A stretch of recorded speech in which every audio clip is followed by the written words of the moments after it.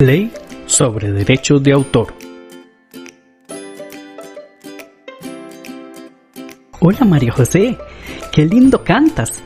Esa canción que estás interpretando nunca la había escuchado. Muchas gracias Matías. Esta canción la compuse para participar en el Festival Estudiantil de las Artes. Eres muy talentosa. Sé que vas a representar muy bien al cole en el FEA. ¿Has compuesto más canciones? Sí, ya he creado unas 10 canciones. Desde niña me gusta mucho cantar, pero hasta que entré al cole empecé a componer. Te admiro mucho. Seguramente llegarás a grabar discos y a dar conciertos, ya que tu música es excelente. Eso espero, Matías. Lo que más me gusta en la vida es cantar. Ya lo he conversado con mis padres y ellos me apoyan, pero no sabemos qué debemos hacer para registrar mis canciones.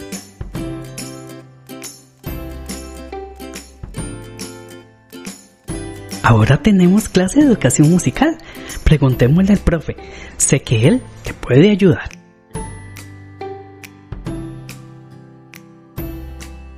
Profe. A mí me gusta mucho componer canciones. Mis padres y yo no sabemos cómo podemos registrar las mismas a mi nombre. ¿Puedes ayudarme? Claro, María José. Eres una gran compositora. Tus canciones son maravillosas. Me parece excelente que inscriban tus canciones para que éstas estén protegidas por la ley de derechos de autor. ¿La ley de derechos de autor? ¿Y qué es eso, profe? Es la ley número 6683.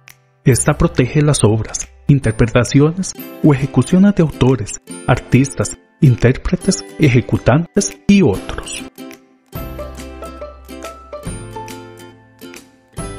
Esta ley protege a todas las obras, ya sean literarias, artísticas o científicas, en cualquiera de sus expresiones, como por ejemplo libros, programas de cómputo, coreografías y muchas formas más, incluyendo por supuesto las composiciones musicales. otorgándoles derechos patrimoniales y morales a los autores de sus obras.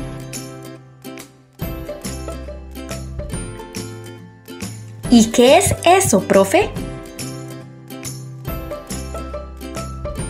El derecho patrimonial nos indica que el autor de la obra literaria o artística le corresponde el derecho exclusivo de utilizar.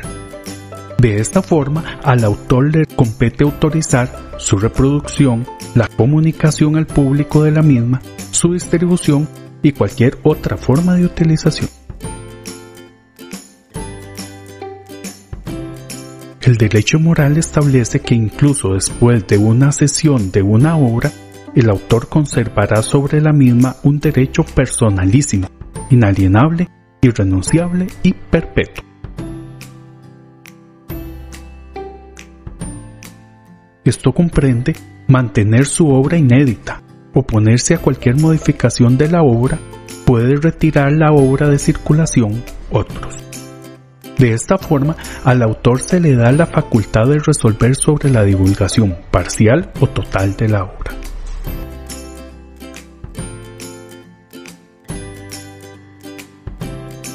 Existe una oficina en San José llamada Registro Nacional de Derechos de Autor y Conexos, la cual está adscrita al registro público de la propiedad.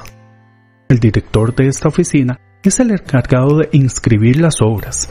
Estas se anotan en registros específicos.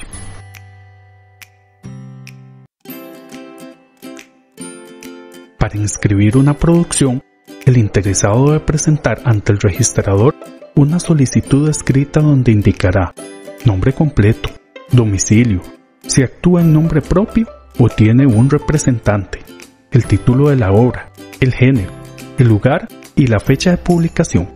Además deberá incluir características que permitan determinar la obra con claridad. Excelente, profe. Ya tengo más claro lo que debo de hacer.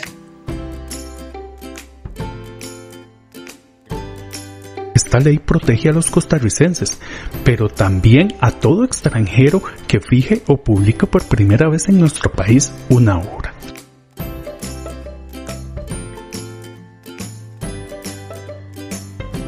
También puedes decidir si mantienes tu obra anónima o usar un seudónimo. Puedes inscribir obras que hayas creado individualmente o en colaboración, dos o más autores, y muchas otras protecciones que esta ley te da.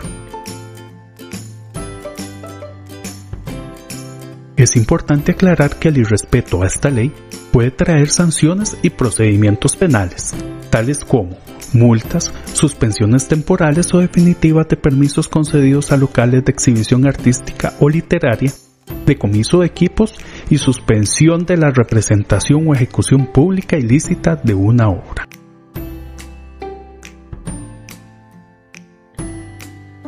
Muchas gracias, profe. Le compartiré esta información a mis padres para iniciar el proceso de inscripción. Con todo gusto, María José. Estoy seguro que lograrás todas tus metas.